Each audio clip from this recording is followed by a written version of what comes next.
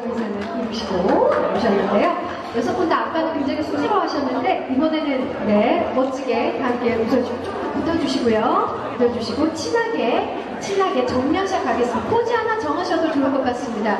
포즈 하나 정해주세요. 포즈. 아, 뭐 최민철 배우님처럼 해주시면 감사하겠습니다. 자, 하나, 둘, 셋, 포즈. 정면shot입니다, 정면. 그 상태에서 살짝 고개만 왼쪽으로 돌려주세요.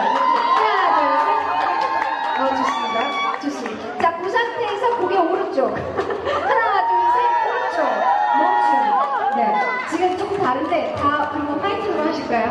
최민철 배우님을 따라 해야 될 것 같은 말이에요. 자, 파이팅. 좋습니다. 하나, 둘, 셋. 정면. 네, 정면 가겠습니다. 네. 좋습니다. 감사합니다.